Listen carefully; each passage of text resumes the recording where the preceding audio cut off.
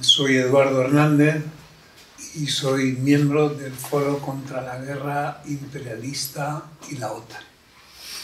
Es el título completo del grupo de trabajo donde yo estoy. Eh, cuando abordamos estos temas, mm, hay una preocupación que, tenemos desde el inicio, hace ya tres años, cuando creamos este, este grupo. Y es que la realidad en general se nos presenta como una realidad fragmentada. Esto es así porque así lo construyen los medios de comunicación, la clase política y todas las fuerzas que arropan este sistema que conocemos como capitalismo.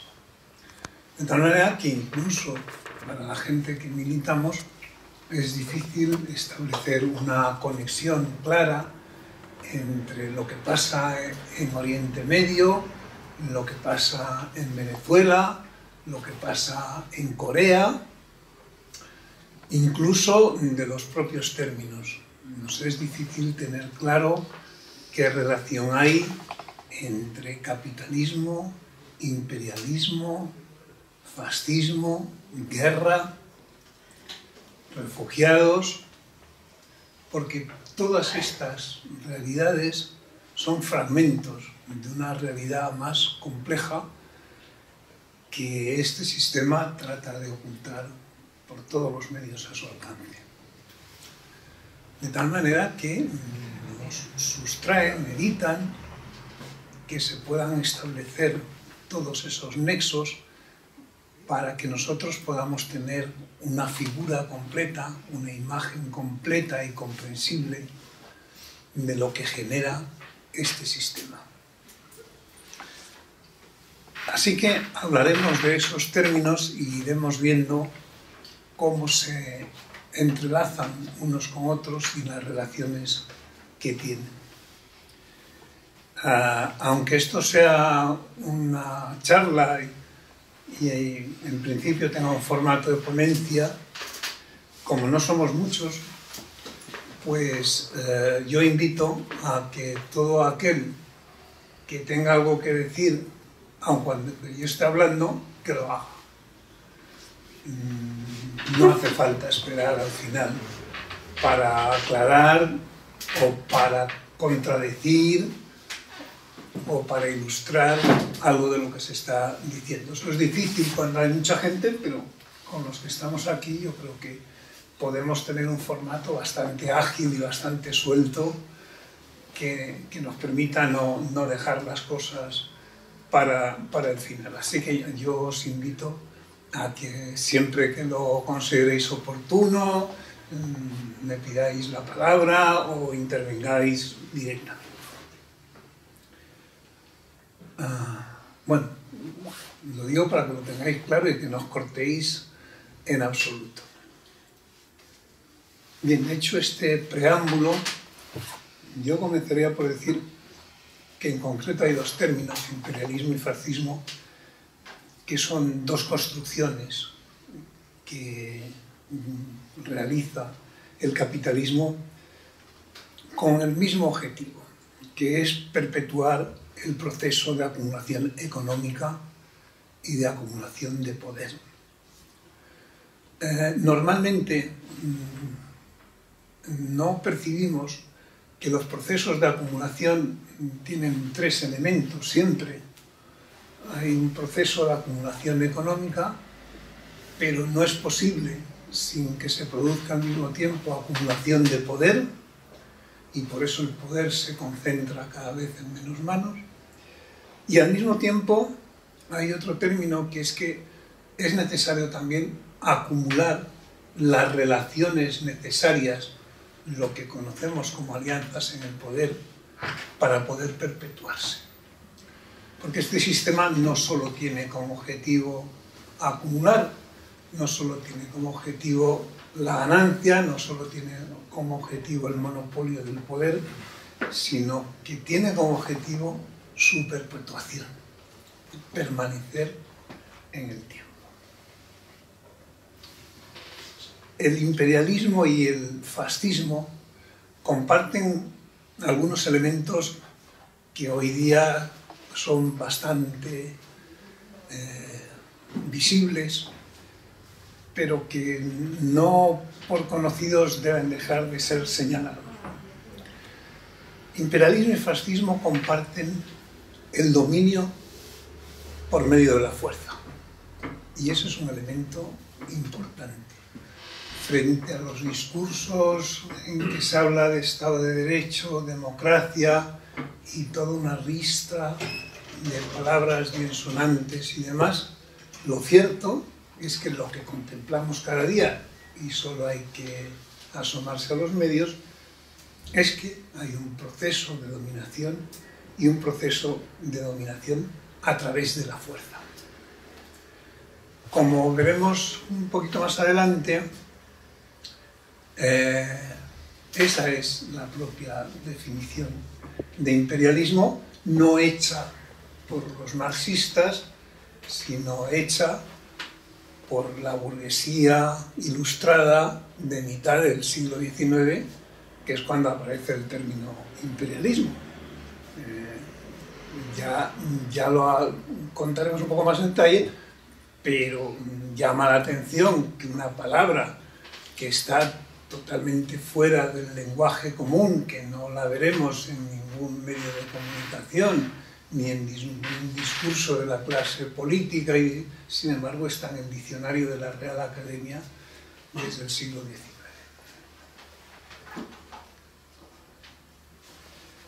Eh, otro nexo importante entre el fascismo e imperialismo es que el fascismo, como es también conocido, no es nada nuevo, propugna el imperialismo, la guerra y la militarización de la sociedad, que es uno de los fenómenos que nosotros observamos.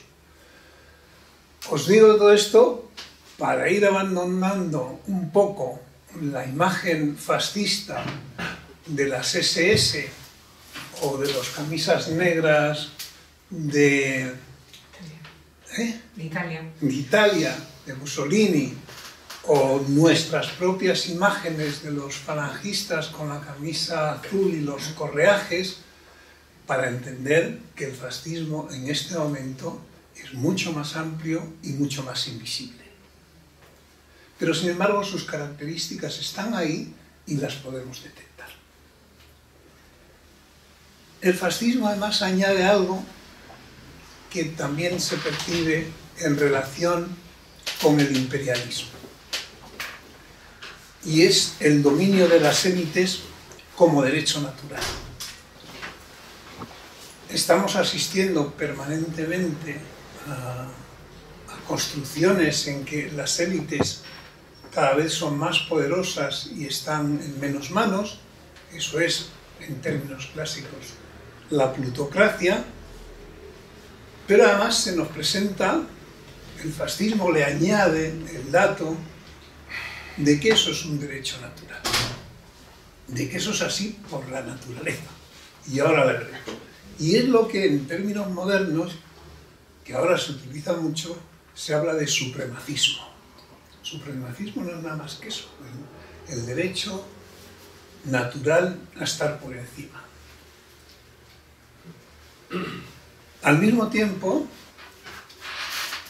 que cada vez es más palpable que los pueblos llevan un papel subordinado y dependiente, cada vez con menos capacidad para intervenir en las decisiones que les afectan, cada vez menos posibilidades de ser protagonistas de la historia.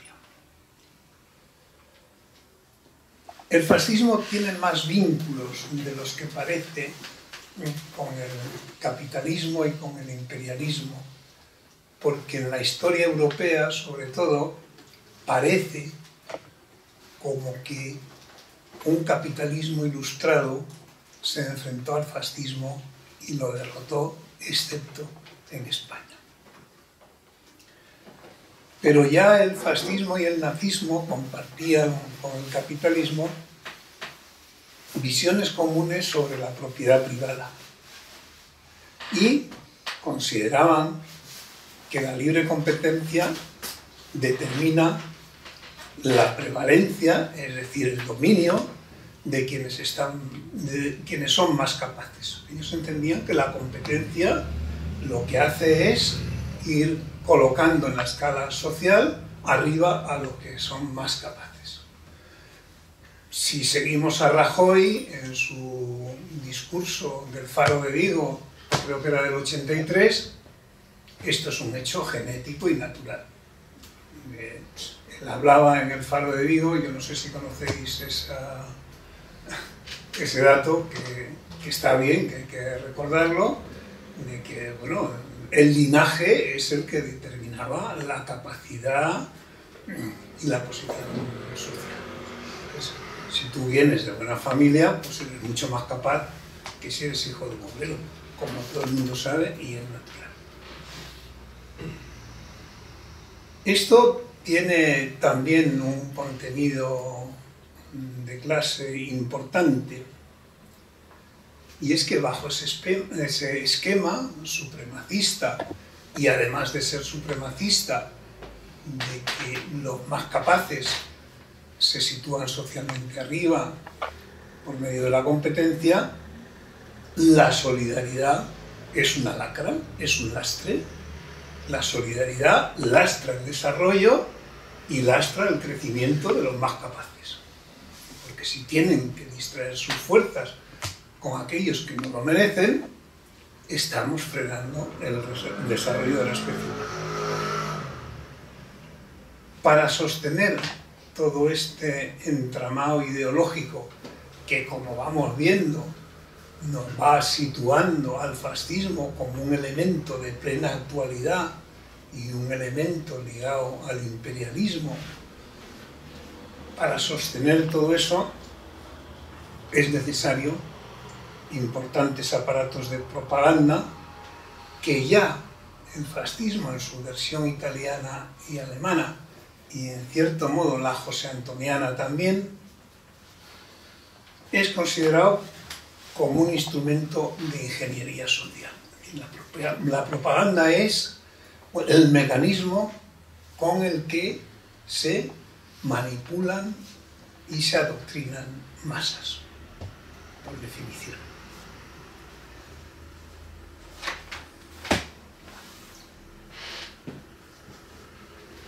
También hay otros elementos, estoy hablando del fascismo en su sentido clásico, donde está en cualquier libro y donde tiene incluso una definición académica, históricamente se ha apoyado en las organizaciones patronales. Es el fascismo, como el imperialismo, tiene un contenido de clase directo, y en casos concretos mm, es fácil de, detectar. En nuestro país, mm, ni que decir tiene, tenemos ejemplos todos los días de cómo las élites patronales mm, forman parte del sistema de dominación, pero si nos vamos a ver con quién funciona la extrema derecha política en Venezuela, por poner un ejemplo, pues son todas las organizaciones patronales las que sostienen la actividad de la extrema derecha. Y en este caso en conjunción con las patronales españolas. Eh, cuando se dio el golpe de Estado de Venezuela en el 2002, eh, quien se iba a presentar como presidente del golpe estuvo en España invitado por la COE.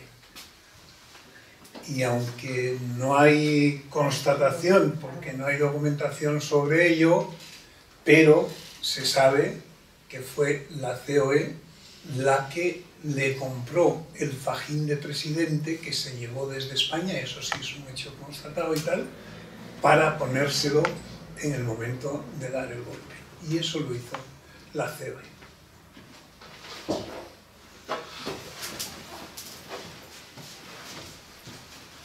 También señalan los textos sobre el fascismo que los gobiernos deben de tener siempre presente los intereses de los patrones.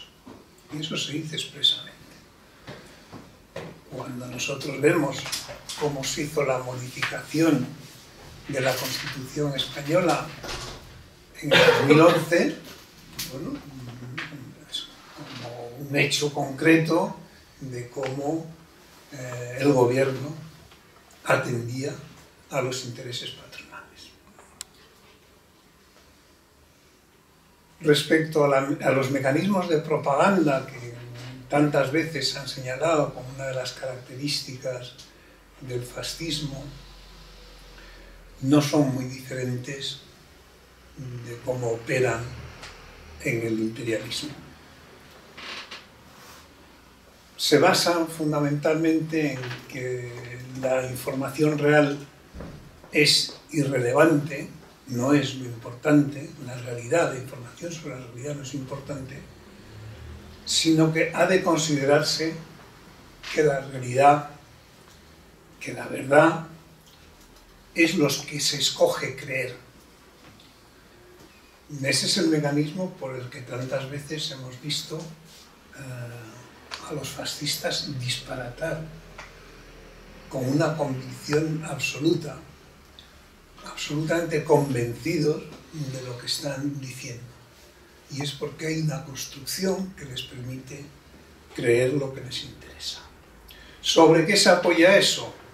Pues ¿Sobre qué se sostiene? Pues fundamentalmente sobre el miedo, sobre el terror. No tienen otra manera de argumentarlo y de sustentarlo. Y por tanto recurren a la violencia y a inculcar el miedo entre el pueblo.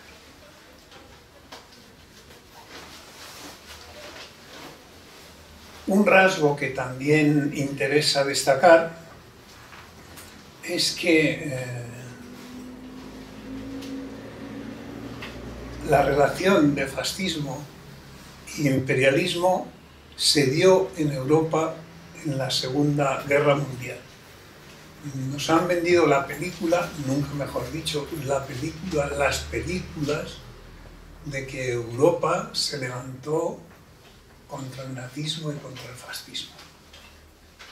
Bueno, eso mm, no tiene nada que ver con la realidad y veamos por qué. En primer lugar, porque previo a la Segunda Guerra Mundial fue la guerra en España, provocada por un alzamiento militar fascista sobre el que Europa no quiso actuar en ningún momento.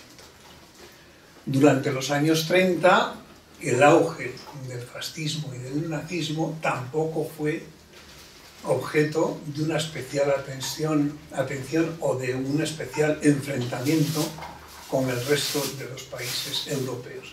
¿En qué momento se produce el enfrentamiento de Europa, la Europa democrática y del Estado de Derecho con los fascismos en Italia y en Alemania, cuando estos dos fascismos empiezan, empiezan sus grandes campañas imperiales. Los nazis sobre Polonia en su plan de expansión hacia el este, y los italianos en el Mediterráneo, fundamentalmente apoyándose en Libia para después intentar el asalto a todo el arco del fondo del Mediterráneo. Es ahí, es cuando aparece una competencia imperial de los fascismos sobre el resto de Europa, cuando Europa decide dar la batalla al fascismo. Hasta este momento no lo habían considerado necesario. Y por último, otro de los rasgos del fascismo que está presente hoy día es la negación de las reivindicaciones sociales. Si bien en la época fascista y en concreto en, nuestro país con Falange y José Antonio Primo de Rivera que en un discurso que hace en un perfecto francés dice que lo fundamental es negar la lucha de clases y aceptar que la única forma de desarrollo es la cooperación entre explotadores y explotados, en este momento adquiere otras formas, pero está presente. Los famosos recortes, la famosa austeridad. No es ni más ni menos que la misma doctrina expresada de otra manera, contada de otra forma. Os decía antes, todo eso se soporta sobre la fuerza, sobre la violencia y sobre los aparatos de propaganda que también son una forma de agresión y de violencia. Os voy a leer un párrafo que yo creo que es de absoluta actualidad y con la que desde hace ya tiempo funcionan todos los mecanismos punteros de propaganda. ¿Qué dice así? La propaganda debe limitarse a un número pequeño de ideas y repetirlas incansablemente. Presentarlas una y otra vez desde diferentes perspectivas, pero siempre convergiendo sobre el mismo concepto.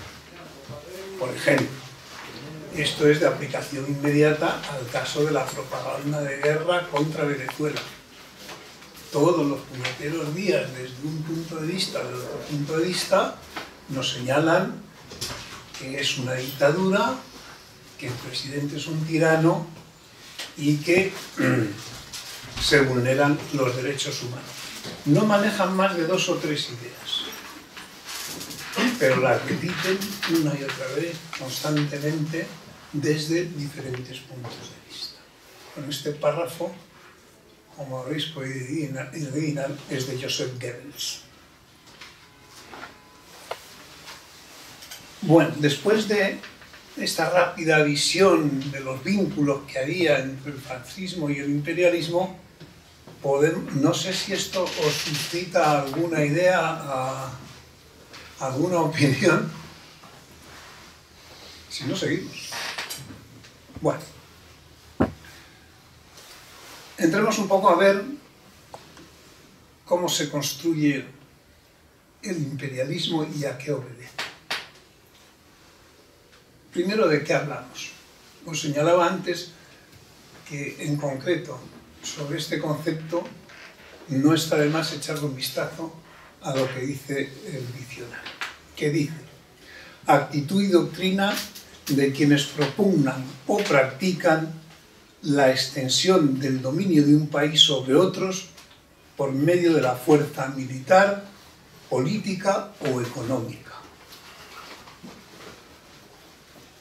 Eh, estamos acostumbrados a ver cómo se está ejerciendo el dominio de un país hegemónico, Estados Unidos, y otros países aliados sobre una gran parte del mundo, y cómo lo hace por medio de la fuerza y cómo lo hace utilizando armas económicas, utilizando armas políticas y utilizando en última instancia la agresión militar.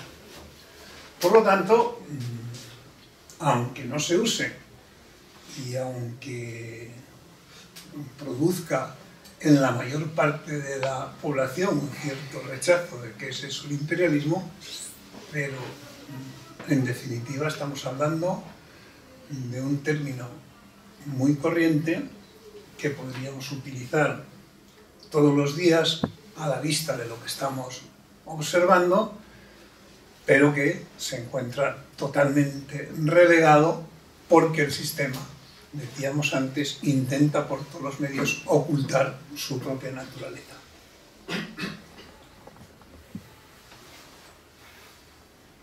Los mecanismos de dominación que implican tener poder para poder ejercerla, han encontrado su máxima expresión en el imperialismo.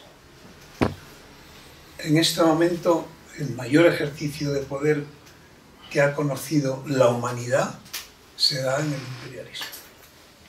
Nunca se había dado con tanta profundidad, con tanta fuerza y con un objetivo tan global.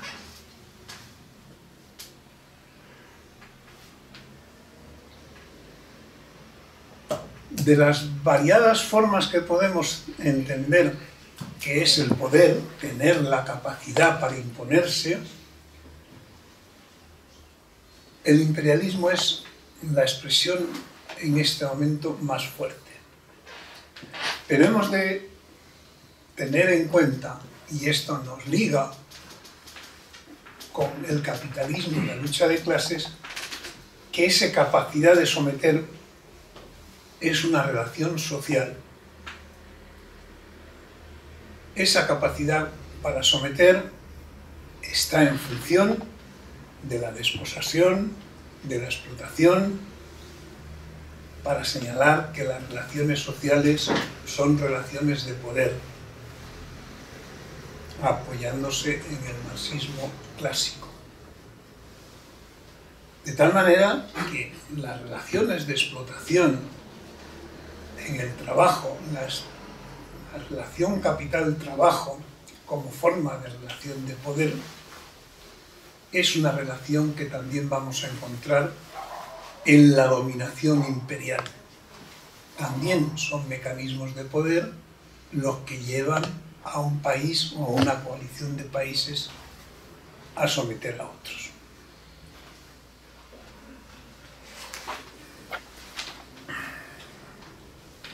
En ambos casos, en el imperialismo y en la explotación, la desigualdad es el resultado de esas relaciones de poder. Y es tan evidente en las relaciones entre la clase trabajadora y las clases explotadoras como entre un país sometido y un país que le somete o una coalición de países que le somete.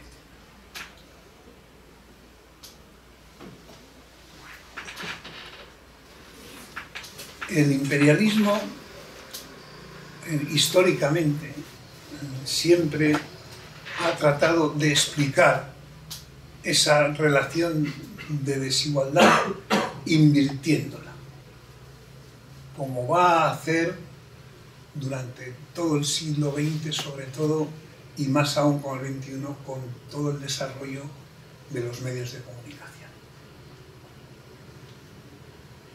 El imperialismo siempre ha tratado de justificarse, de hacerse natural, como un hecho natural, a través de diferentes formas que explicaran la aberración que se estaba cometiendo.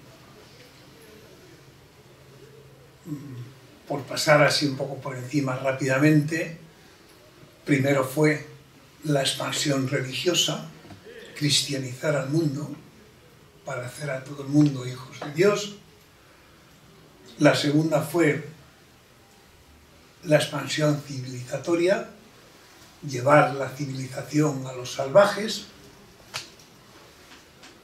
Y la siguiente fue la idea del progreso, la idea de que la expansión capitalista daría progreso a todo el mundo, es decir, igualaría a todo el mundo. Ese mecanismo de ocultación hace que se pierda de vista un concepto que cada vez se utiliza menos, se utilizó en las fases de descolonización después de la Segunda Guerra Mundial, pero ahora mismo está en desuso, que es el concepto de la justicia. Es decir, solo se miden las intenciones pero no se mide la estructura que genera esa mecánica.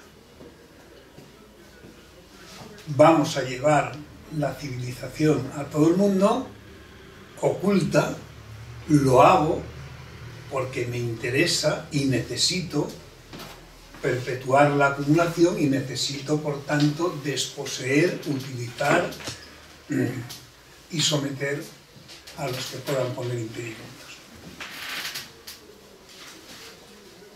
Es decir, no se cuestiona el sistema que engendra esa verdad.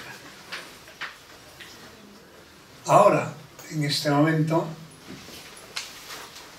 nos suena en los oídos constantemente que los objetivos son dos fundamentalmente, la democracia y la libertad.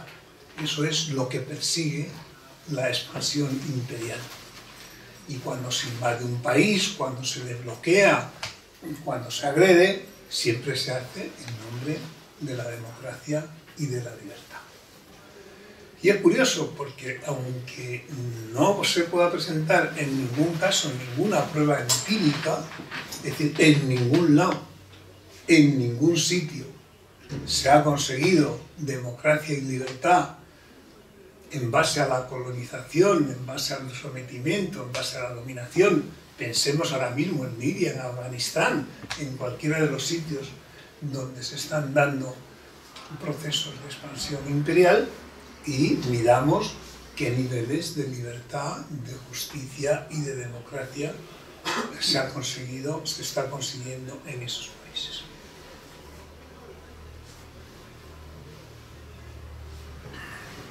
Ahora, en este momento, vivimos una situación que se define como crisis, eh, término que hay que poner en cuarentena, porque es crisis para los que padecen las consecuencias, pero no tiene nada que ver con que eh, las grandes fuerzas del capital estén en crisis. Su problema es que la mecánica de acumulación que mantenían no es ya viable y necesitan transformarse para poder mantener esa mecánica de acumulación. Y a eso le llaman crisis como forma de justificación, como algo inevitable. Es algo inevitable para mantener sus tasas de ganancia, pero no es inevitable para el desarrollo de las fuerzas productivas en otro sistema que no fuera este. Eso genera el que se oculten de cualquier manera para evitar que se produzcan contestaciones y respuestas a ese proceso. ¿Con qué características en este momento? Bueno, con algo que realmente es alarmante. Después diremos algunas cosas que parecen puros eslogan eh, de panfleto, pero que de lo único que nos van a hablar es de cómo definimos la realidad, de cómo entendemos la realidad y cómo hablamos de ella. La capacidad de desarrollo y tecnológica que han alcanzado muchos países en este momento permite que el horizonte de la expansión territorial sea el mundo. Antes esa expansión territorial mm, tenía objetivos más pequeños. No había capacidad como para plantearse el dominio del mundo en su conjunto. En este momento sí hay capacidad para ello y ya hay muchos indicios de que ese es el objetivo y de que ahí es hacia donde caminamos. Algo que parece, ya digo, una exageración panfletaria, que el objetivo es el dominio del mundo, pero bueno, lo primero que hay que plantearse es que hay capacidad para ello, cosa que hasta ahora no había, y que además de ello se están dando pasos en ese sentido. Para enmarcarlo aquí, no para que vayamos a hablar de ello ahora, el que existan más de 800 bases militares norteamericanas por todo el mundo es un indicio de esa capacidad. O el que la OTAN esté en un proceso de expansión en que ya definen desde la cumbre de Cardiff que su objetivo es el control del mundo, pues es que ya está plasmado en los papeles y ya forma parte de la doctrina de las organizaciones militares. Eso nos lleva a plantearnos algo importante eh, en relación con el imperialismo, y es que la guerra actual es por la hegemonía del dominio del mundo. No se trata de ver quién domina un continente, una zona, un océano. Se trata de una guerra por el dominio del mundo. Una guerra que lleva a cabo como motor Estados Unidos junto con la coalición occidental que como todos sabemos tiene esas características de ser países blancos desarrollados. Si vamos contando los que están ahí, pero que ya nos plantea eh, su globalización como objetivo expreso y que a través de las revoluciones de colores y de todos los intentos en el arco del norte de África y el Medio Oriente y las grandes movilizaciones navales en, en, el Pacífico, en el lejano Oriente, van dando una idea de que no es una frase, sino que es un proyecto que está escrito y que está en marcha. No es un proyecto de futuro, es un proyecto que se está construyendo hoy día.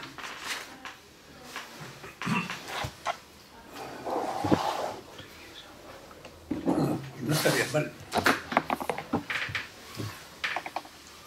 Perdón un segundo.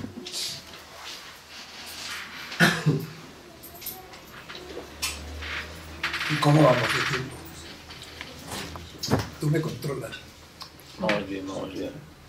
¿Vamos bien? ¿Qué quiere decir? ¿Cuánto llevamos? Eh, Bueno, 50 minutos, ¿no? No, menos. ¿eh? Menos, menos. un poco menos de 50 36. minutos. Treinta y tantos. No, te lo digo por ir un poco más ligero. lo que. Pues un poco más, mejor. Ligado con todo esto está el tema de la guerra. No es posible una expansión de dominación si no se cuenta con una fuerza militar, además de económica y política, que la sostenga. Esto entra en contradicción directa con todo lo que se establece en Naciones Unidas en 1945. Dice las Naciones Unidas.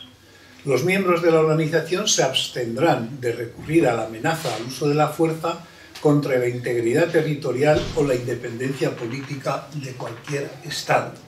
Y esto está firmado por todos los países que en este momento llevan a cabo las políticas más agresivas, más intervencionistas y que mantienen de sistemas de dominación eh, más brutales en todo el planeta.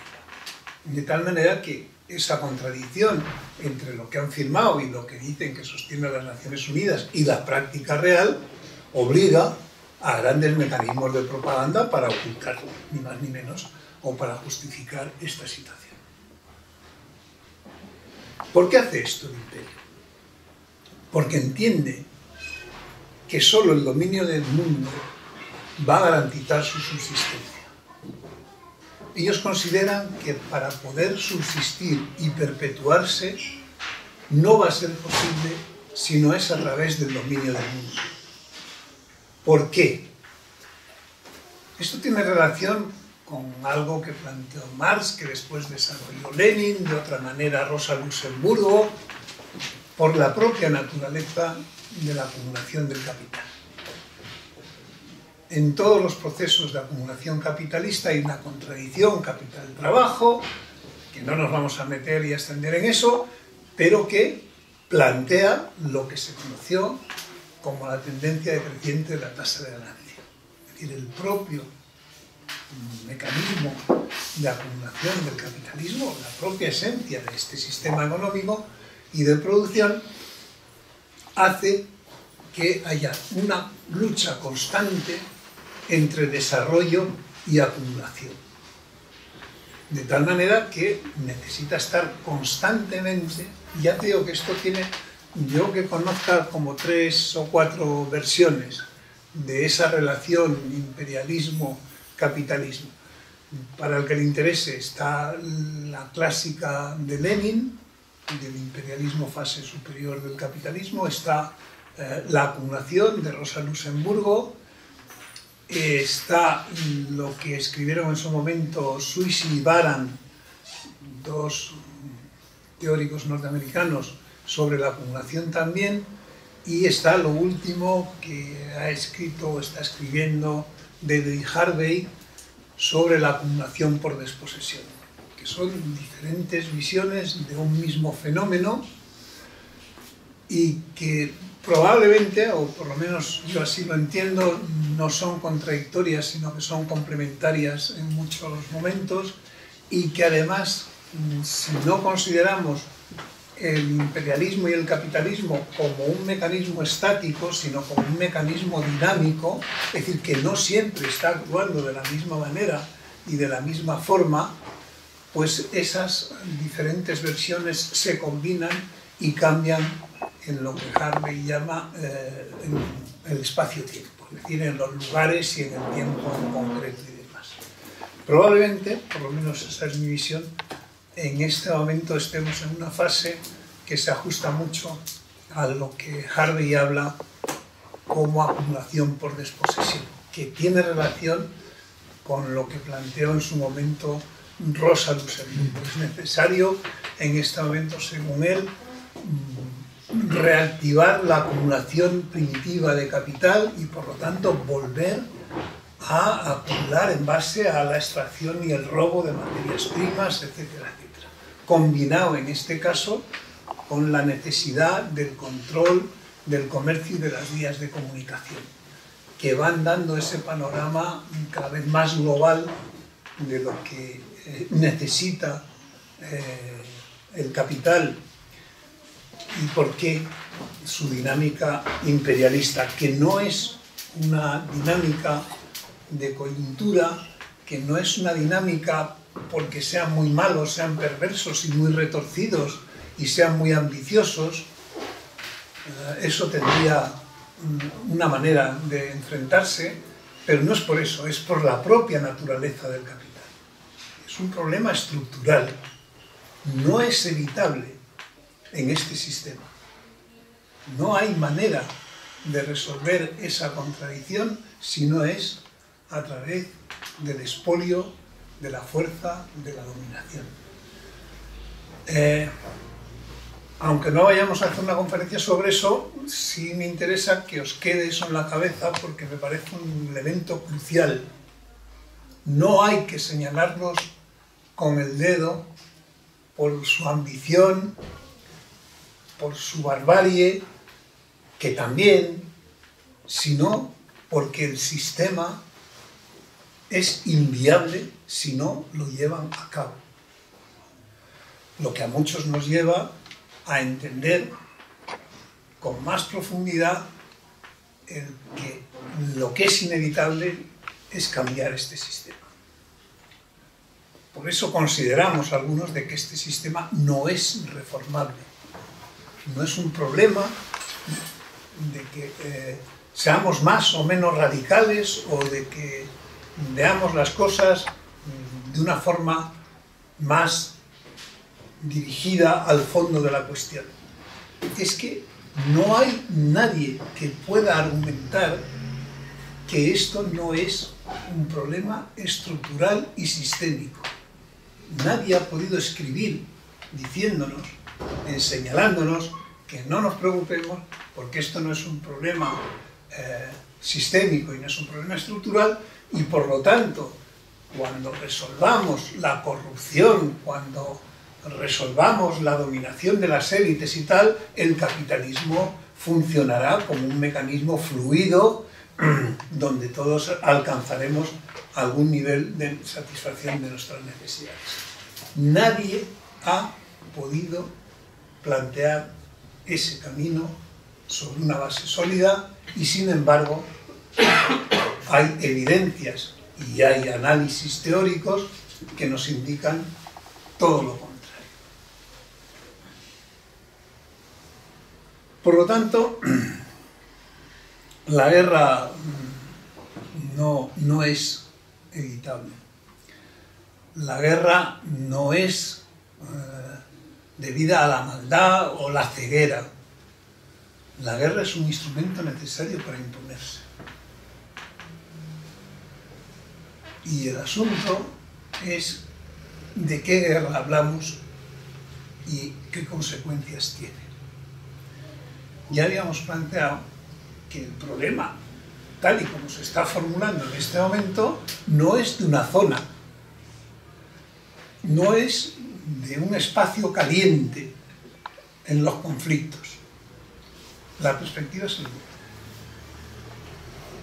eh, nosotros planteamos que no hay que hablar de una tercera guerra mundial como habla el Papa, sino que hay que hablar de una guerra mundial. La guerra que corresponde a la globalización, la guerra que corresponde al neoliberalismo extendido al conjunto del mundo. Y eso tiene sus mecánicas y tiene sus procesos. Primero, requiere una cultura belicista, porque todo el mundo tiene que aceptar que en algún modo participa en la guerra. Eso en este país es crucial, porque la gente, en su inmensa mayoría, ni tiene idea ni acepta que nosotros estemos en guerra. Y nosotros somos una pieza fundamental de la guerra mundial.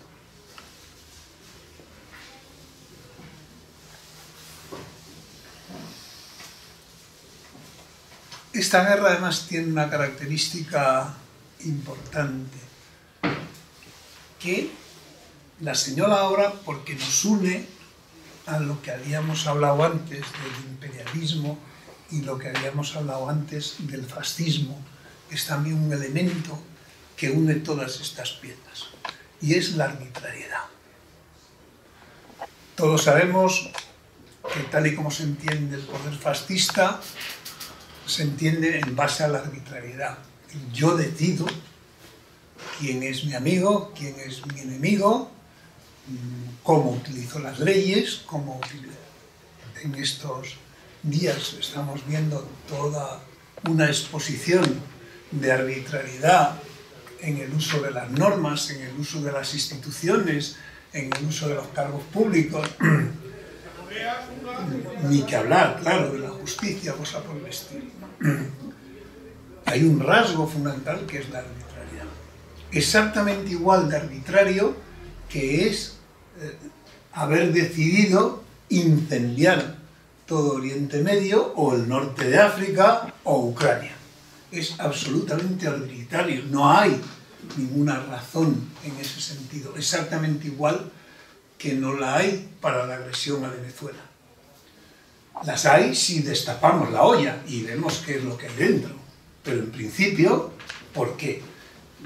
Eso está cuajado hasta arriba de contradicciones que forman parte de ese carácter contradictorio de la guerra mundial. Esa arbitrariedad se plasma en un término y es que lo que importa no es el qué, sino el quién.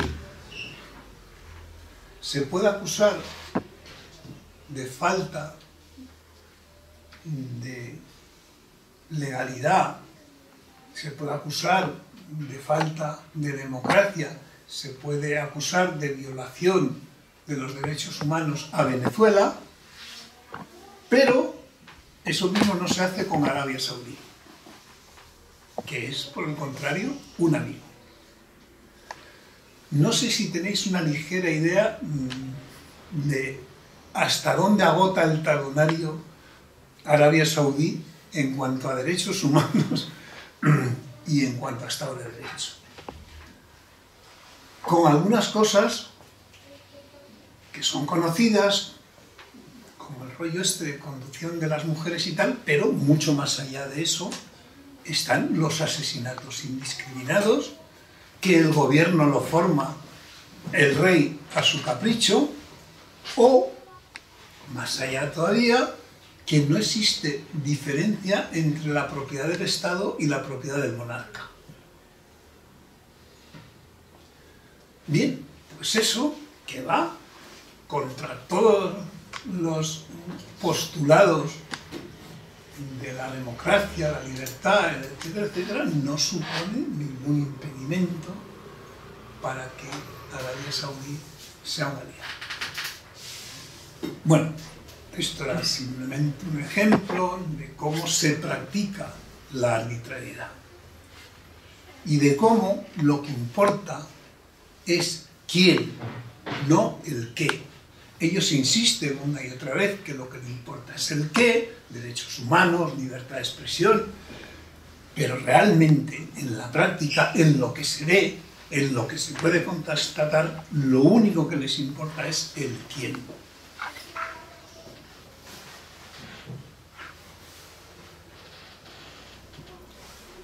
Hay una característica que mencionaba de pasada, pero que creo que es interesante, y es que atendiendo a los compromisos que se habían firmado con Naciones Unidas, todos estos procesos se han de invisibilizar en la mayor medida posible. Si os fijáis, no hay ninguna guerra declarada, excepto la de Corea, entre el norte y el sur, oficialmente. Hay conflictos, hay no sé qué, mm, eufemismos, mm, cortinas de humo, porque no se puede aceptar una declaración de guerra existiendo Naciones Unidas y el Consejo de Seguridad. Sin embargo, de facto, eso se está dando bastante. Pero no se plantean nunca como guerras. En Venezuela no hay ninguna guerra declarada. Pero sin embargo, hay guerra mediática, hay guerra económica, hay guerra política. Claro que hay guerra, por supuesto que hay guerra. Y en otros muchos puntos del planeta igual. Dentro de ese mecanismo de camuflaje, también se recurre a presentar siempre al imperialismo como un acto de defensa. Nunca existe un acto de agresión por parte del desarrollo imperialista. Siempre es un acto de defensa. Si arrasa Afganistán es porque se está defendiendo de las Torres Gemelas.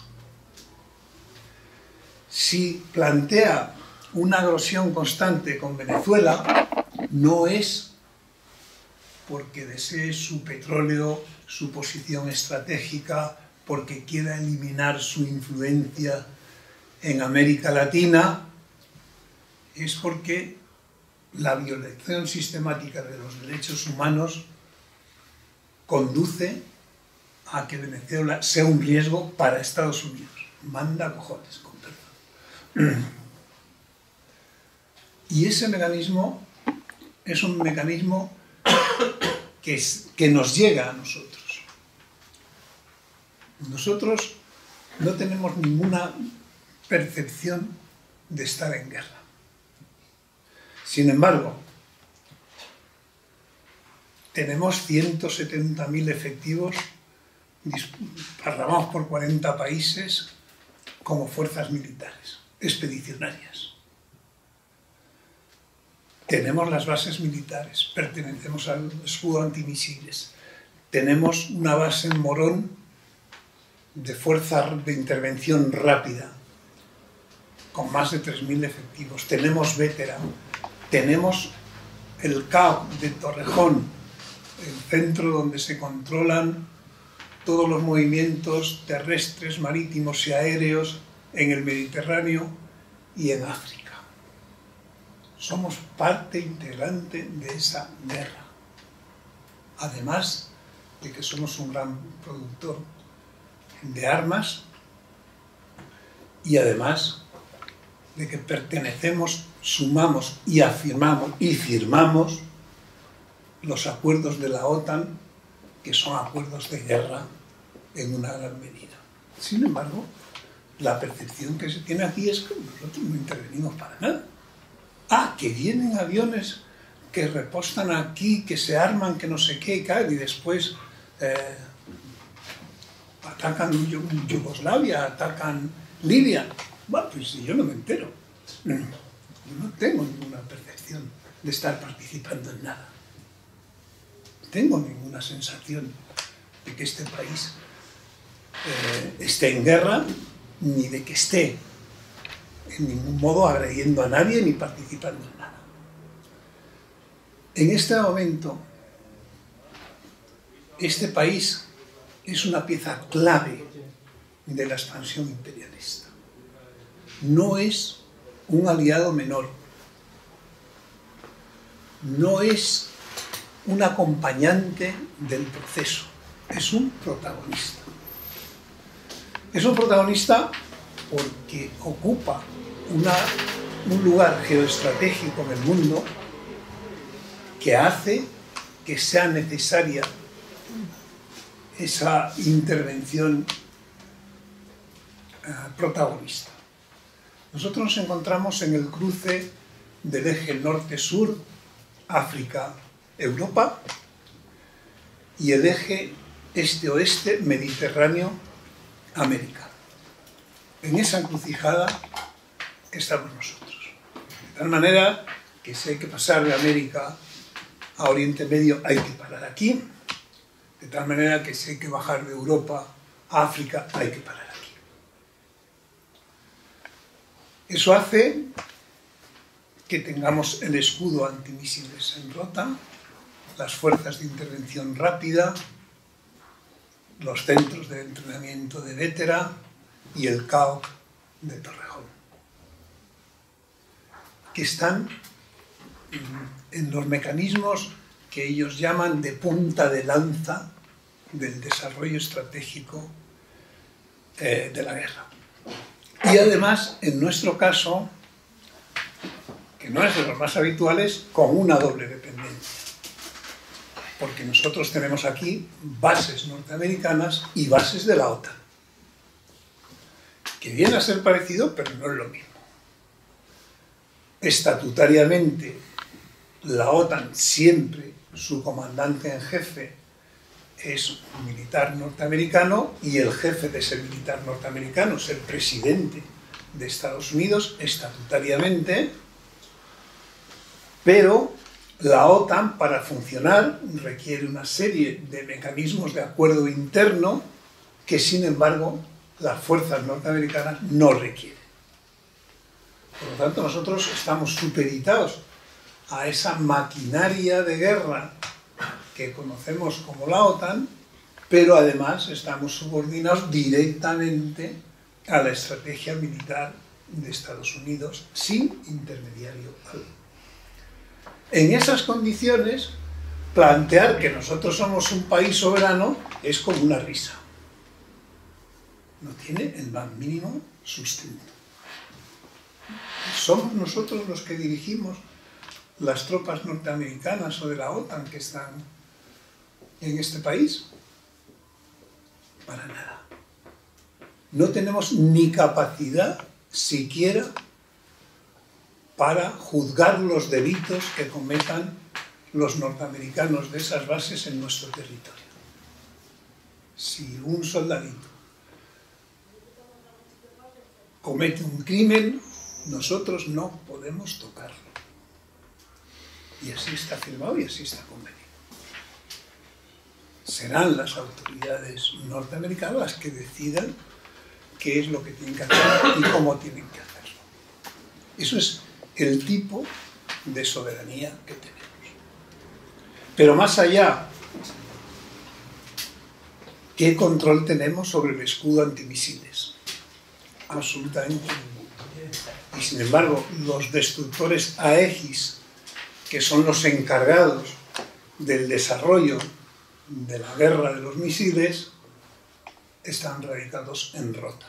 De tal manera que si hipotéticamente existiera algún día un conflicto donde intervinieran armas nucleares, nuestro país quedaría literalmente arrasado por el fuego de esas armas. Porque efectivamente, quien se diera en esa tesitura, pues no dejaría que Torrejón funcionara para el control aéreo sin más. Diría, me tengo que cargar el cabo o intentar ventilarme el cabo de Torrejón. O si están el escudo antimisiles en rota, tendré que actuar sobre rota. O si tengo las fuerzas de intervención en Morón, tendré que intervenir sobre Morón. O si están los centros de formación de Vétera, tendré que intervenir sobre Vétera. De tal manera que nosotros estamos en un lugar de alto riesgo en caso de una agresión militar. Y lo más tremendo de todo esto es que no somos conscientes y además no obtenemos nada a cambio. No nos está, ¿De quién nos estamos defendiendo nosotros para asumir ese riesgo? ¿Quién nos está acosando o quién nos tiene en su punto de mira para que nosotros asumamos ese riesgo. Absolutamente nadie. Bueno, yo creo que lo voy a dejar aquí para que nos dé tiempo a hablar un poco. Quizá habría que hacer algún comentario eh, sobre la OTAN. Si queréis brevemente dibujamos un poco cuál es el panorama de la OTAN, porque yo creo que tiene algún interés y ahí acabamos esta exposición. Como sabéis, la OTAN es una organización, una alianza que se promueve eh, después de la Segunda Guerra Mundial, fundamentalmente para supuestamente ser una fuerza disuasoria y de paz en el Atlántico Norte nace con profundas contradicciones, porque uno de sus miembros fundadores es Portugal, que en ese momento era la dictadura salazarista. De tal manera que mientras que por un lado los estatutos de la OTAN hablan de democracia, de libertad, de no sé qué y tal, ponen como primer socio a un país que era una dictadura reconocida internacionalmente.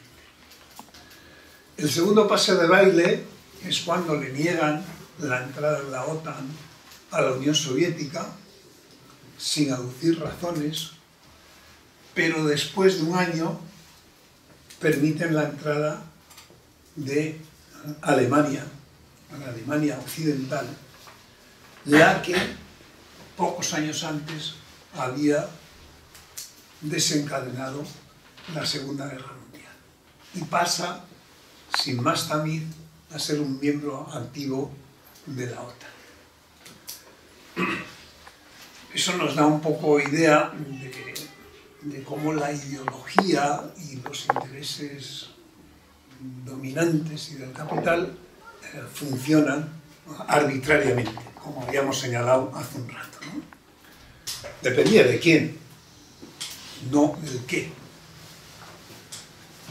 La OTAN ha seguido desarrollándose y acumulando cantidad de fuerzas. Nuestra relación con la OTAN es más conocida.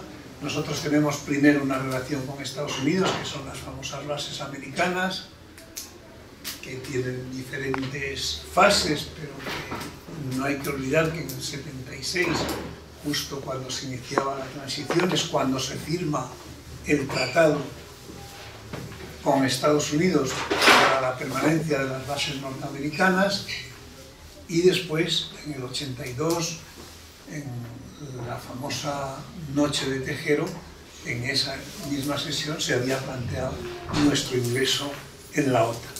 Ya no solo las bases norteamericanas, sino la OTAN. La OTAN se ha mantenido bajo la idea de que era un mecanismo de defensa dentro de la Guerra Fría de una posible agresión soviética.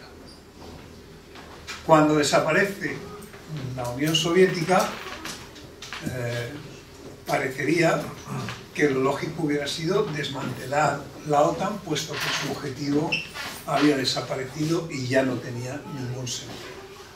Desaparece el Pacto de Varsovia, que es muy posterior a la creación de la OTAN, pero ahí no pasa nada.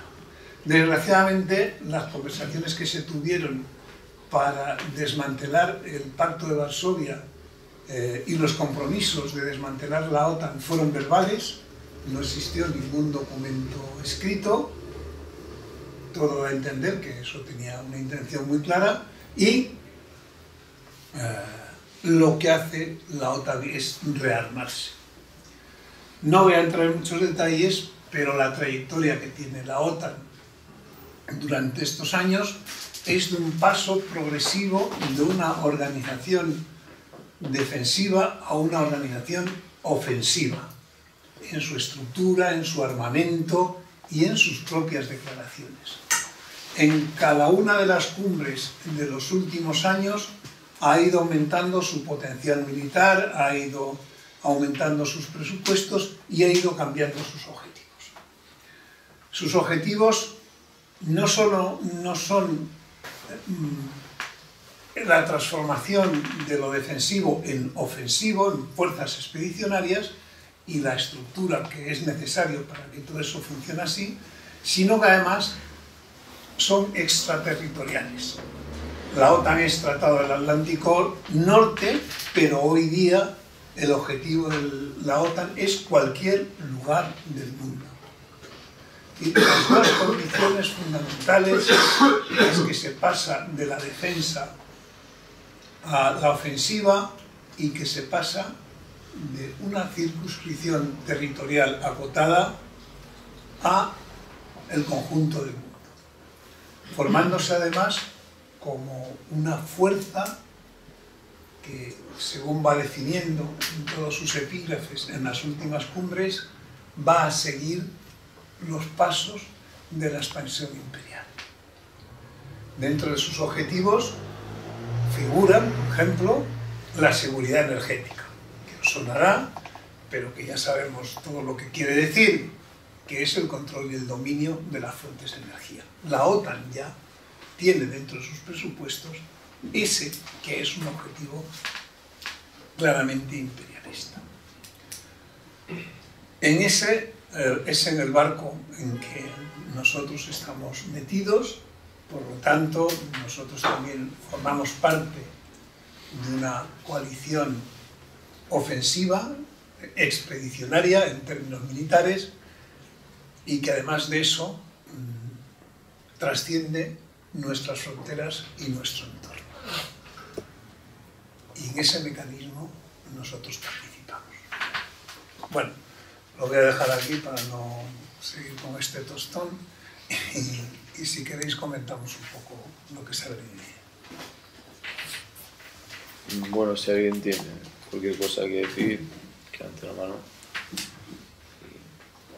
Bueno, eh, empiezo yo, ¿no? No veo que, que haya nadie. Yo te quería preguntar qué, qué medidas se pueden hacer para, para, acabar con el capitalismo, que has nombrado que es un poco la génesis ¿no? del fascismo, lo has, lo has comparado. ¿Qué medidas podemos hacer todos? Medidas que sean pequeñas para acabar con todo el capitalismo, que yo creo que, a veces leo, leo cosas que como que el capitalismo está en crisis, en el periódico, el periódico del Partido Comunista del Pueblo de España, yo no veo que esté en crisis, yo veo, que, yo veo toda la sociedad que está todo el mundo consumiendo, con marcas, yo veo que la gente lo, lo, lo adora, entre comillas, ¿sabes? Eso es lo que te quería preguntar y, gracias. ¿eh? Bueno, hay, hay un capítulo del que no hemos hablado, que yo esperaba exactamente a esta parte para hablar de ello, que es el capítulo de las resistencias. Eh, todos los que nos enfrentamos a esta mecánica, de alguna manera, al capitalismo, a sus formas de organización, como puede ser la OTAN, a sus consecuencias, como puede ser la guerra, a sus efectos, como puede ser la explotación de los trabajadores, todos los que estamos en ese ámbito, eh, que yo me he esforzado por ver que forman parte de una unidad, que no son piezas sueltas, y que, que es eh, relativamente sencillo establecer el nexo que hay en la explotación entre una fábrica y la agresión a Venezuela o la guerra en Oriente. Son mecanismos de dominación y de explotación en todos los casos. Y hay un mecanismo que es la resistencia.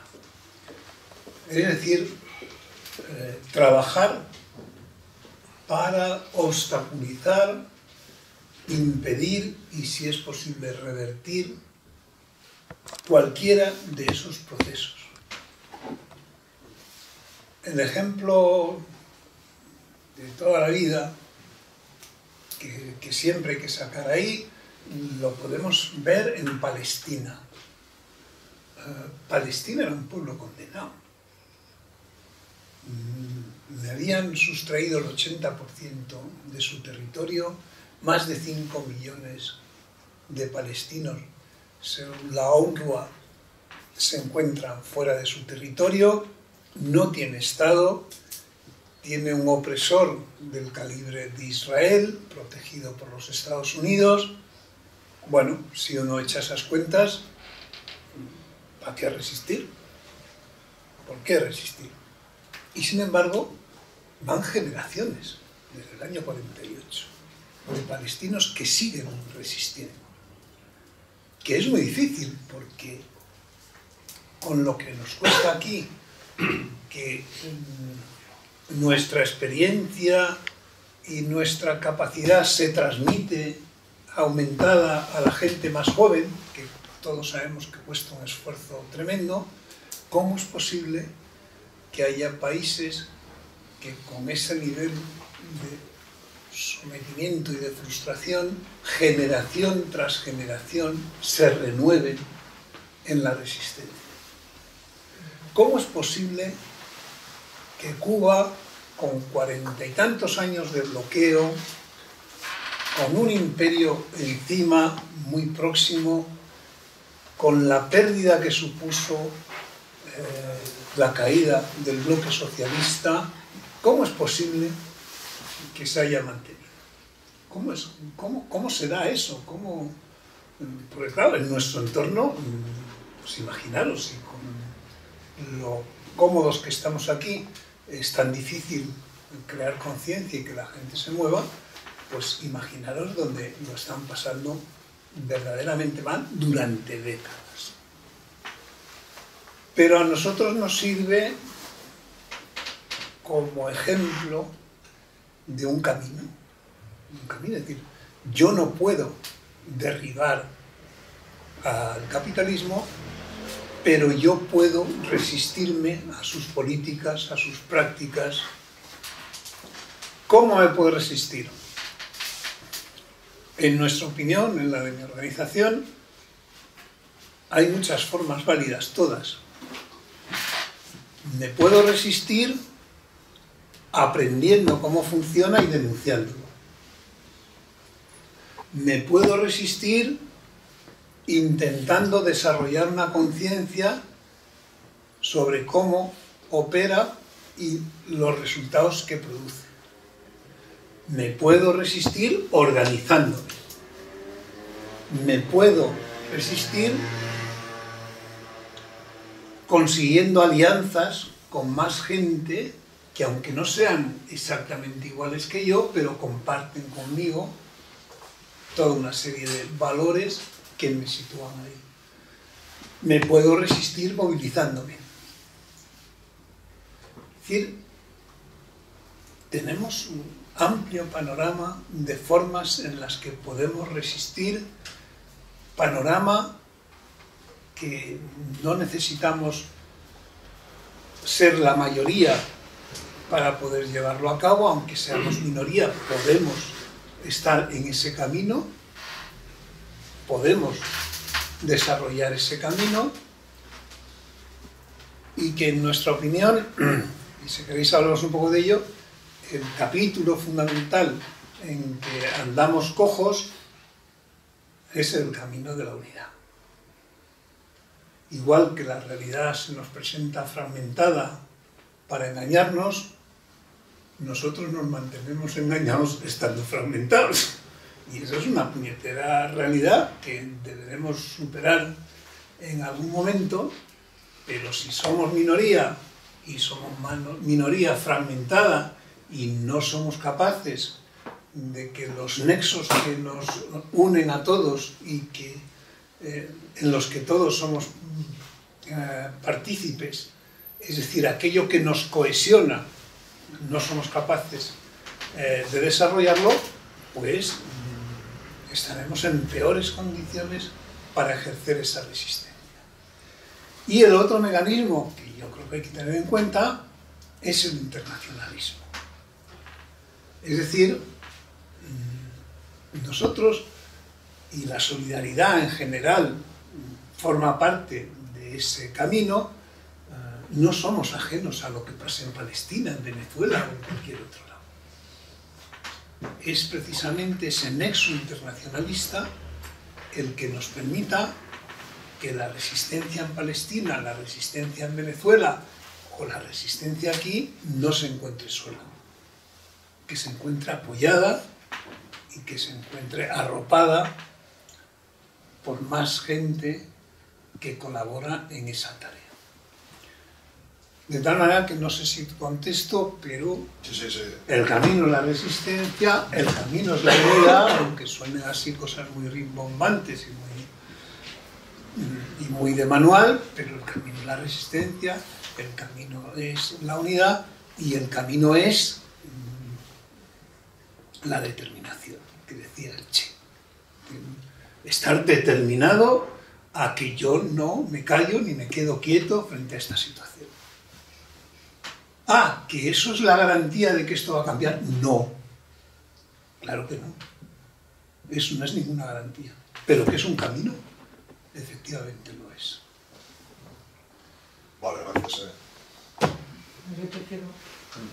No, es igual. Y de- y después te lo digo yo. Vale. Luego que a mí me, me han surgido muchas ideas y algunas cosas y tal, pero me gustaría preguntar un, un par de cosas. Una igual no tiene mucho que ver con, con la charla. Y otra, sí, que era si, si, por un lado, si considera que, que Cataluña No, no me hables de tú porque con mi- de usted porque con mi edad me jodes. si, si consideras que Ca- Cataluña formaría parte de una re- revolución de colores como se ha visto en otros países, por un poder, por una- un interés económico, estratégico o lo que sea, y otro sería que cuál es el papel de la, la UME eh, en la actualidad, la Unión Militar de eh, Emergencias, en, en esta guerra mundo Ah, que hemos tenido aquí haciendo maniobras y constantemente están en los medios de comunicación. Esas dos, breve- brevemente porque eh, rápidamente. Eh, nosotros eh, hemos tenido, eh, cuando hablo nosotros es el foro contra la guerra. Nosotros hacemos un- unas sesiones que llamamos conversatorios y es que cogemos un sábado por la mañana, lo solemos hacer una vez al mes, y desde las 10 de la mañana hasta las 3 de la tarde mm, echamos un tema encima y lo tratamos. Generalmente eh, cogemos documentación antes para que la gente se la lea, eh, hay una introducción de alguien que se ha preparado el tema y bueno, llevamos dos años con ese mecanismo. Y justamente eh, la semana pasada tuvimos uno sobre Cataluña. Entonces, eh, es un debate que no hemos terminado, a pesar de dedicarle pues, cinco horas al asunto, no hemos terminado con él, porque intentamos que fuera muy ordenado y muy sistemático, porque había muchas mm, eh, maneras de ver el asunto y de pero yo te puedo contar lo que hemos avanzado hasta ahí. ¿no? Eh, en nuestra visión no se dan las condiciones para hablar de que ni es un mecanismo imperialista lo que provoca la situación de Cataluña, eh, pero tampoco es un mecanismo de insurrección forzada por intereses externos, que creo que eso es importante. ¿Por qué digo esto? Porque algo que en principio está reconocido incluso por Naciones Unidas, no es un problema de los de izquierda ni cosa por el estilo, que es el derecho de la autodeterminación, que está reconocido en la Carta de Naciones Unidas, por tanto no es ningún disparate, pero sin embargo, en esta guerra mundo, que no nos ha dado tiempo a desarrollar en detalle, nos encontramos con casos que funcionan a la inversa. Nos encontramos con casos en que son verdaderas luchas de liberación, por poner un ejemplo que es bien cercana, la del pueblo saharaui, que también es otro caso de resistencia continuada por varias décadas, en que exige su derecho de autodeterminación y exige su derecho a su soberanía. Y hay otros casos en los que ese proceso se invierte y ese es el resultado de una estrategia imperialista. Voy a poner dos casos. El caso de Santa Cruz en Bolivia, que no sé si lo conocéis, donde hay una región del territorio boliviano que pretende ejercer el derecho a autodeterminación, pero mira por dónde esa región de Bolivia es la que acumula más yacimientos de petróleo, por un lado, y donde reside la oligarquía boliviana ultraderechista. El mismo caso puede que se presente, ya hay indicios de ello, en lo que se llama la media luna en Venezuela, que son los tres o cuatro estados situados en la frontera con Colombia que están mm, dominados y han ganado las elecciones, son los estados que han ganado las elecciones por parte de la derecha, por toda la mafia fronteriza eh, venezolana narcotraficante, relacionada con los paramilitares, etcétera, etcétera. Y también parece que se están planteando ejercer su derecho de autodeterminación para ser eh, probablemente la sede de un gobierno reaccionario eh, impulsado por los Estados Unidos. De tal manera que ya no es suficiente con hablar del derecho de autodeterminación hay que ver en qué coyuntura, en qué condiciones,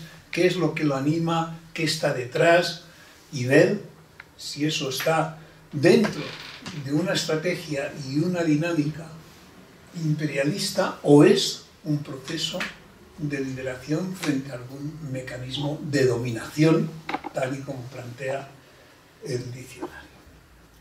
Bueno, eso respecto al esto no es una solución, pero sí es, también hemos analizado que lo que no hay ninguna duda para nosotros es los mecanismos de agresión de corte franquista que se han estado dando sobre Cataluña desde hace ya años, no de ahora, sino desde hace años. Eso hay un mecanismo de agresión continuo que empieza fundamentalmente en la reforma del estatuto y que ha continuado a lo largo del tiempo y que tiene su eclosión en los últimos acontecimientos donde se produce una vulneración flagrante del Estado de Derecho, el uso de la fuerza, el ánimo de confrontación entre pueblos dentro del Estado español y toda una serie de características que corresponden con el franquismo tardío. La otra cosa que me habías preguntado, una era Cataluña y la otra era la, la, UME. La propaganda de la UME que tenemos ahora eh, actualmente en el Estado y en cualquier comunidad autónoma que han estado aquí de visitas maniobras hace poco, en Torlavega, en Cantabria y están en el foco del mediático. No ha dado tiempo para hablar de todo, pero los mecanismos mmm, del imperialismo eh, tienen un doble objetivo uno que es hacia afuera, que es el sometimiento y la dominación de otros pueblos, y otro hacia adentro, que es el sometimiento del propio pueblo. Eh, la OTAN, en concreto, está formando parte cada vez más de esos mecanismos de control interno. Es decir, ellos se dan cuenta de que esta situación continuada de penuria y de agresión sobre una capa muy importante de la, de la población, ese mecanismo que somete a, a, la gente mm, mucho más allá de unas condiciones aceptables de vida, solo puede ser mantenido por mecanismos de fuerza. Eso siempre estaba en manos supuestamente del servicio de interior, de no sé qué tal, pero en este momento los mecanismos militares están entrando ahí. ¿Cómo están entrando? Bueno, pues ya ha habido, uh, me parece que fue Vetera, ya ha habido maniobras militares como ejercicios de contención civil. Es decir, los mismos simulacros que hacía la policía para disolver manifestaciones y demás, ya los están haciendo los militares aquí en España. Eso da una idea de cómo avanza esa mecánica de militarización de la sociedad que habíamos comentado al principio, hablando como uno de los rasgos del fascismo. Eso se junta además con la otra parte que comentábamos de el aumento constante y progresivo de integración de España los mecanismos militares internacionales, tanto con Estados Unidos como la OTAN. Todos estos movimientos que estamos viendo tienen que ver con los dos factores, con la militarización interna del país, por un lado, y con la necesidad de desarrollar una cultura belicista que permita el aceptar una situación que en principio sería inaceptable, que es apoyar los mecanismos de militarización tanto internos como externos. Bueno, quería decir. Sí, bueno, pues en primer lugar gracias porque ha sido muy, muy, muy interesante la, la charla. No sabía yo que iba a ir por esos derroteros. Hombre, algo se sabe, algo sabemos más o menos todos, pero... Y haciendo un inciso, ¿dónde está la bandera? Es que me he sentido con un, con un frente blanco ahí, digo, aquí me falta algo. Con estrellas sin estrella, pero la bandera. Pues bueno, ¿qué ha pasado? Siempre tenéis algo ahí. ¿No quedan? ¿Se han vendido todas? bueno, es una broma, pero de verdad que halaga tenerla enfrente cuando hay un conferenciante. Bueno, yo cuando has empezado a hablar, lo primero que me ha venido a la frente con ustedes ha sido 900. La película, eh, lo primero, he pensado, claro, aquellos señores eran francamente pobres, ahora también, pero no tenían consumismo, ahora sí. Mientras hablabas y te escuchaba, tenía la película mm, como la relación del momento aquel que existió realmente. ¿no? Y ahora tenemos otro momento de auténtica pobreza, e incluso trabajadores pobres, que es lo más triste, miseria en la gente que trabaja. Pero claro, tienes ese bombardeo, eso que tú comentas ahora, de esa clase capitalista que te mete, por ejemplo, el, Black Friday, ¿eh? A mí que me importa, eso que no lo entiendo, lo entiendo, ¿no? Pero ¿por qué me lo pones en inglés? O el SADE, en vez de poner mm, rebajas, y que te van metiendo poco a poco muchas cosas que parece que no, pero ya los niños van a... O sea, que es educacional a corto plazo. Claro, digo yo, ¿cómo luchamos contra eso? No se trata de luchar con las armas, sino con la inteligencia o con la unión, pero ¿cómo? ¿Cómo llegas a otra vez a 900 y dices tú, salgo a la calle? No lo va a hacer la gente. Primero que España está totalmente maestrada eh, como la oveja con el pienso, o sea, imposible. Hay una parte que se mueve y cuando ves en las manifestaciones gente joven, yo me siento súper halagada, que tengo unos hijos normales, más bien de izquierdas, bueno, una muy de izquierdas y otro moderado, pero que, que no van, claro, tienen hijos y demás. Y esta gente joven, que ahora no, jóvenes, jóvenes, en muchos días, me siento feliz, pero de 50, bueno, menos es nada. ¿Cómo llegamos? ¿Cómo podemos hacer? ¿Cómo con este poder económico y bombardeante de los medios, que es tremendo, y mintiendo continuamente, ¿qué tenemos? El boca a boca, el comunicarnos, el ¿qué hacemos? Esa es la... Los estudiantes, ¿no? Había la, la, la Y no estudiantes, gente de todo, pero vamos, sí, estudiantes. Yo, yo te cuento cómo, cómo, trabajamos y cómo entendemos las cosas uh, nosotros. Por un lado, es necesario eh, desarrollar una, una tarea, a nuestro modo de ver, que ayude a comprender. Es muy difícil enfrentarse a las cosas si no las comprendes. Nosotros hablamos de que para actuar hace falta comprender. Me parece que es un paso necesario. Otra de las cuestiones que, que pensamos es que las fuerzas son tan desiguales que intentar oponer nuestra verdad a su verdad eh, no es posible, porque su capacidad de imponer su verdad supera con mucho lo que nosotros podamos hacer. ¿Dónde hemos encontrado puntos de debilidad? Cuando detectamos contradicciones, la gente mm, respinga cuando ve contradicciones flagrantes en que ella se ve metida, que se ve que está ahí. Entonces nos interesa desarrollar ese tema, pues como esto que comentábamos, mm, por ejemplo, de Venezuela y de Arabia Saudí. esas cosas hemos detectado que producen un respingo. La gente dice, coño, pues, pues es verdad, qué cosa más rara, ¿no? ¿Por qué se hace esto? Y la tercera mm, cosa que nosotros intentamos practicar, además de nada, son las alianzas y la unidad. Entonces, eh, viene al caso porque el día 2 de, diciembre hemos convocado en Madrid la constitución de un frente antiimperialista. Eh, hemos repartido un documento, por lo menos para plantear los principios filosóficos y políticos que animarían ese frente, un poco con la idea de que hay muchos elementos comunes que cohesionarían un frente, aunque sea diverso, aunque no sea eh, idéntica toda la gente que se reúne ahí, faltaría más, ¿no?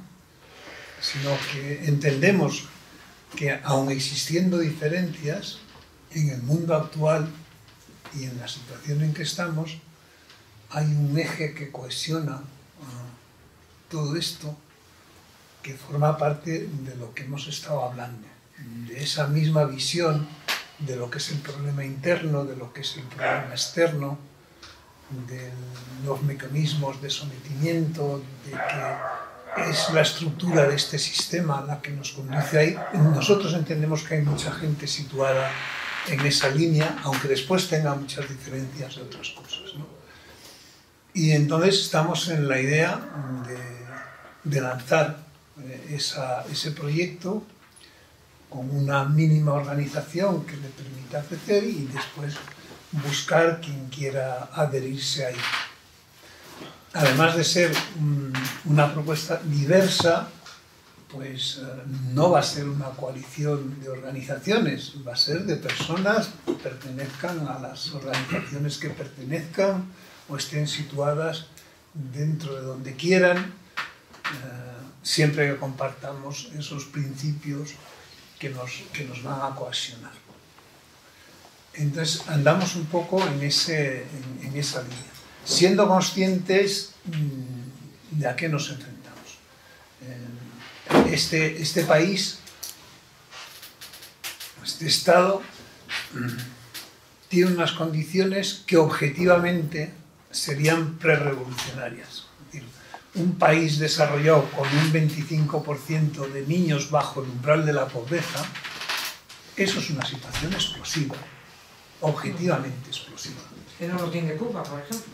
No, no, ni, lo tiene Grecia. o sea, no, no necesitamos mirar a Cuba. O sea, no, que dice Cuba con todo lo. Ya, ya, ya. No, hay hambre en, Cuba, no hay hambre en Venezuela para los niños. Claro, quiero decir que estamos en muchos aspectos en rangos del tercer mundo.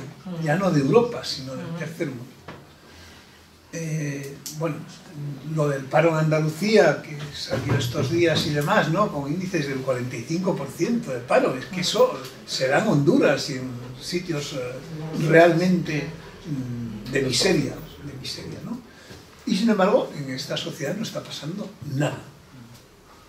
Eh, el expolio de derechos que se ha hecho durante estos años ha sido atroz, terrible, pero sin embargo no ha provocado ninguna respuesta social, ni política, ni ningún cambio sustancial, si me apuras, una reafirmación de, las líneas mm, más cavernícolas y más eh, franquistas en la sociedad.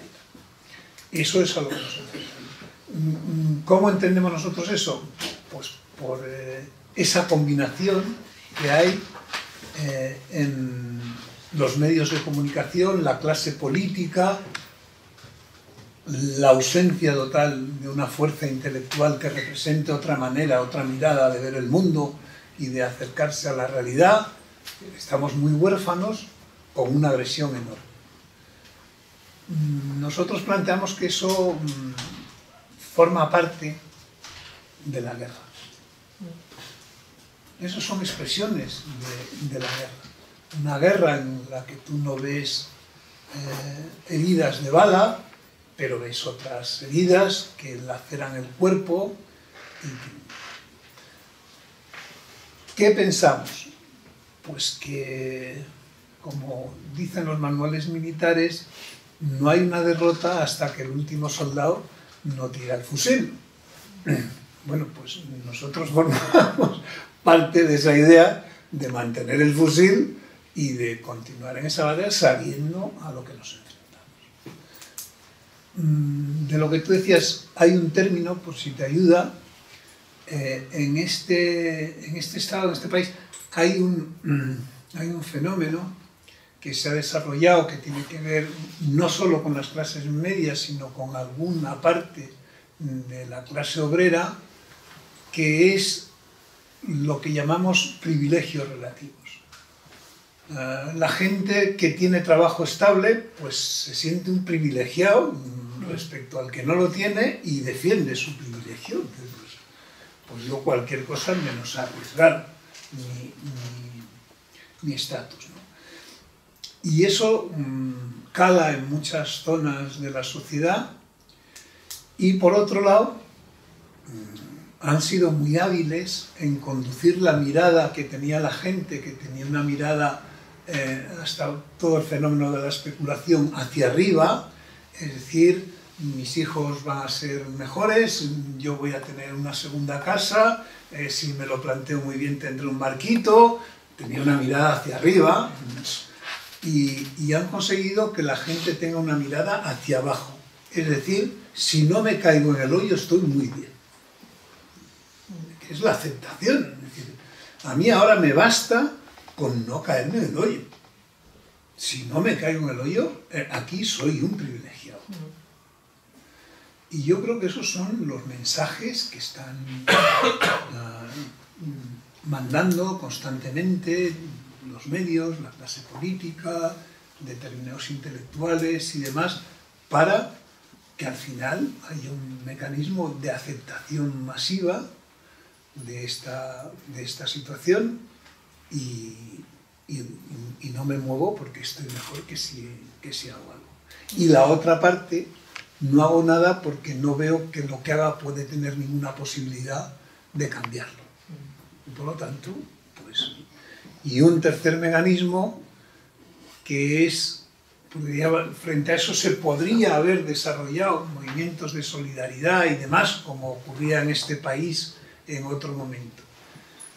Pero también se ha inculcado otra doctrina que yo creo que ha tenido un efecto terrible y es, bueno, eh, eso me afecta, pero no me compete, no soy yo el que tenga que resolverlo. Y lo dejo estar.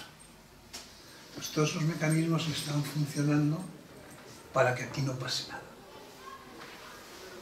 Lo que no quiere decir que no vaya a pasar, porque esa es la otra. Mira, eh, esto funciona como funciona como una olla tapada.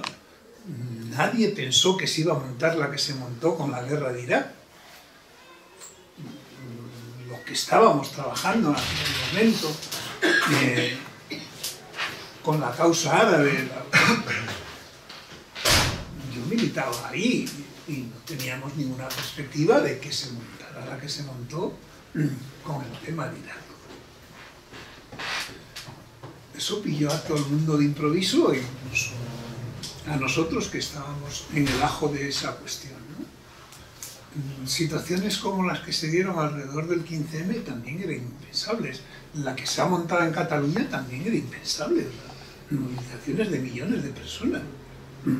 No estaba en nuestro catálogo hace tres años. Si hace tres años nos dicen, no, se van a movilizar millones de personas. ¿Pero qué me están diciendo? ¿De dónde? Entonces, eh, este país es muy convulso porque tiene muchas cosas tapadas y es, es un problema muy serio porque no sabes cuándo se van a destapar, no sabes cuándo las condiciones subjetivas cambian y como las condiciones objetivas están ahí, pues se produce la explosión. Entonces, nos tenemos que manejar con esa realidad compleja y, y un poco incierta.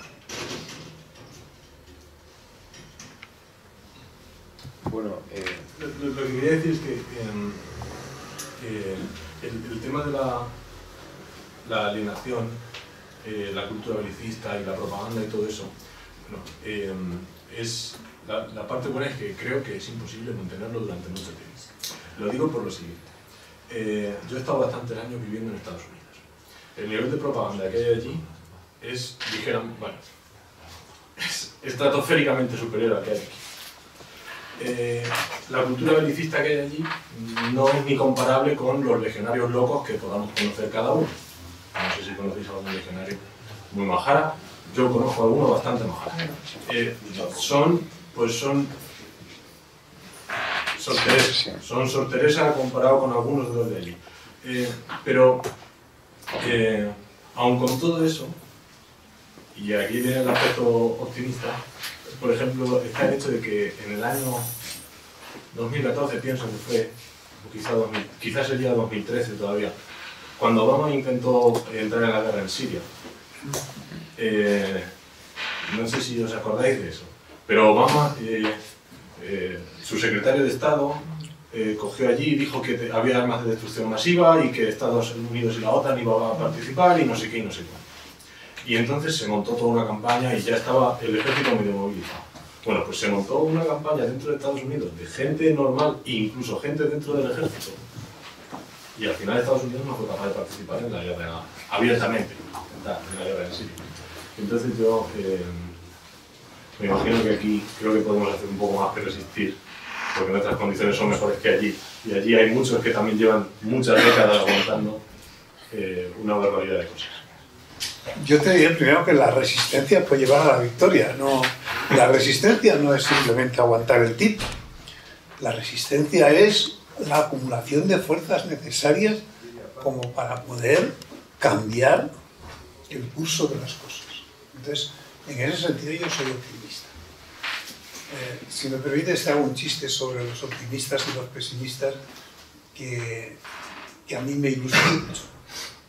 Dice un pesimista, esto ya no puede ir peor. Y dice el optimista, sí, sí que puede. Entonces, digo porque no es, yo creo que no es tanto plantearlo en temas de pesimismo y optimismo, sino simplemente de contemplar que tenemos capacidades reales para enfrentarnos a esta situación y que lo que hay que hacer es desarrollarlas.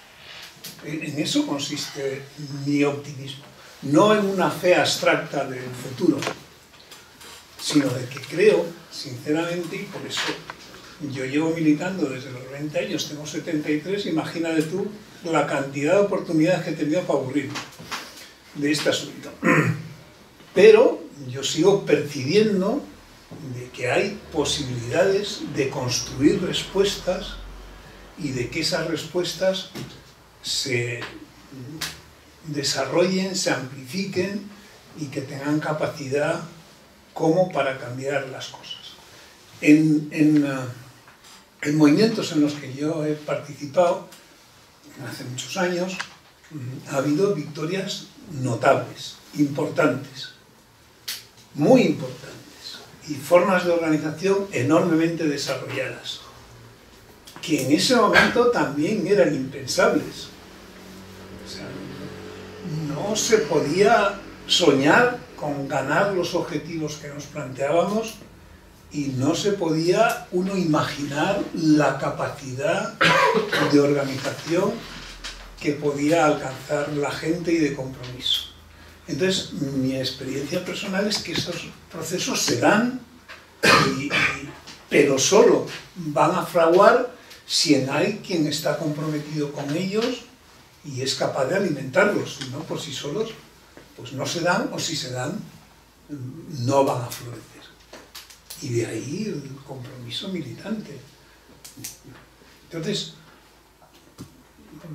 yo no, no me lo planteo como una cuestión de optimismo y pesimismo, por eso te hacía el chiste para dar la vuelta, sino de las capacidades reales que tenemos. Y, y que esas son con las que hay que trabajar y en las que hay que esforzarse.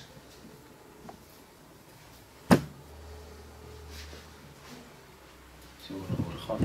Tenía una pregunta.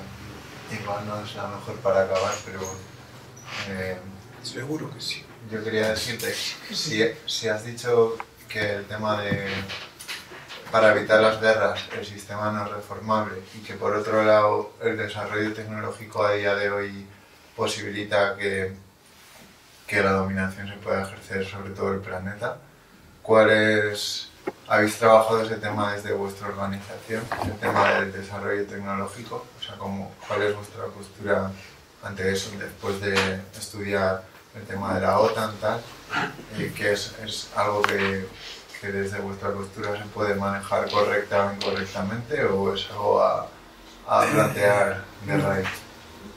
Para nosotros el sistema tecnológico en que estamos está liga- ligado estrechamente al desarrollo y los intereses capitalistas. Si no, habría otro desarrollo tecnológico que no tiene nada que ver con esto. Eh, ellos nos venden que el desarrollo tecnológico es el desarrollo de las capacidades humanas. La realidad no tiene nada que ver con eso. Lo que vivimos ahora no tiene nada que ver con el desarrollo de las capacidades humanas. Tiene que ver con el desarrollo que ha llevado a cabo un sistema bajo unos intereses concretos. Y por lo tanto, la tecnología está ligada a esas mecánicas, no a otra cosa. Si no, estaríamos en otra esfera que no tendría nada que ver con, esto. Eh, te pongo un ejemplo. Yo participé años A, ¿os acordáis alguno, seguro, del rollo aquel de la colza, de la gente que por la colza y demás? Bueno, pues yo pertenecía a un barrio donde estaba afectada la población por el tema de la colza y, y tuvimos una intervención en eso. Eh, en un momento determinado llegamos a entablar relación con los investigadores que estaban en, en el tema. Y nos contaron que mm, había dos tóxicos, uno que eran las anilinas y otro que eran las anilidas. Las anilidas mm, pertenecen a, una cantidad de industrias tremendas y por lo tanto de las anilinas se sabe todo, o se sabía todo. No había... Ah, pero como este envenenamiento se había producido por anilidas, que no eran utilizadas industrialmente, no tenían ni puñetera idea ni de cómo funcionaban, ni de cómo envenenaban, ni de nada de nada. Entonces, claro, es que el, desarrollo de la industria para vender hace que unas determinadas cosas se desarrollen tremendamente y que otras cosas que no se utilizan directamente para vender, aunque formen parte del conocimiento, pues no se utilizan, no se ensayan, no, no se conocen. Todo esto que nosotros manejamos alrededor tiene una intencionalidad, que es ser operativo al sistema, es decir, promocionar el proceso de acumulación en cualquiera de sus aspectos, desde vender zapatillas hasta fabricar aviones que sean capaces de dominar el mundo. Pero si nosotros tuviéramos otro tipo de dinámica y estuviéramos metidos en otro tipo de intereses, el desarrollo que conocemos sería completamente diferente, no tendría nada que ver con esto.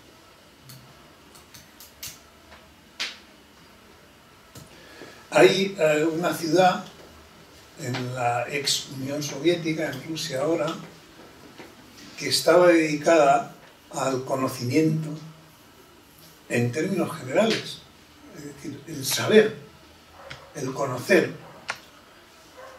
y que eh, no tenía en principio directrices, sino que eran lo que los conocedores, los sabios, eran capaces de generar y de crear. Bien, con la caída de la Unión Soviética aquello se perdió, por supuesto, y hoy día, a día de hoy, hay líneas de investigación de las que no se tiene todavía ni idea, porque desaparecieron quienes las llevaban. Y el mundo occidental desarrollado no ha tocado siquiera esas líneas y no lo sabe. Y pertenecen a las matemáticas y a la física básica, pero no hay cuerpos que se dediquen a eso. Y por lo tanto, pues se desconoce ni para qué sirven ni a dónde nos llevan. ¿Eh? Mira, es uno de los cambios, por ejemplo, que se operó, y eso te lo digo por experiencia directa, en el Consejo Superior de Investigaciones Científicas. Consejo Superior de Investigaciones Científicas en España, que era uh, un ente del franquismo y demás, existían líneas de investigación abiertas. Es decir, donde eran los investigadores los que iban marcando. Eso hizo que, que, España en algunos aspectos de la bioquímica y demás fuera puntera a nivel internacional, con gente muy importante. Eh, pero a partir mm, de pocos años antes de la transición, cuando el modelo desarrollista de los planes de desarrollo y demás dejó de funcionar eficazmente, eh, eso se puso al servicio de las empresas. Y ya se empezó a investigar lo que pedían las empresas, no lo que eran capaces los científicos de desarrollar, sino que se hacía demanda del complejo industrial y empresarial. Por lo tanto, pues, por ejemplo, en ese instituto se ha estudiado y se ha desarrollado lo que demandaban los sistemas de producción, no otra cosa. No sé si te sirve. Pues antes de que fueseis, reitero agradecimientos por vuestra presencia y eh, recuerdo que esta charla está enmarcada dentro de todas unas jornadas contra el, contra el fascismo y todas sus caras que continuarán el viernes a las siete y media en el Centro Social Itaca que se encuentra en Torlavega y acaban con un taller eh, sobre el colonialismo y el racismo organizado por un colectivo de Madrid con una presentación antes de un colectivo feminista de aquí. Así que bueno, muchas gracias. Y gracias a Eduardo por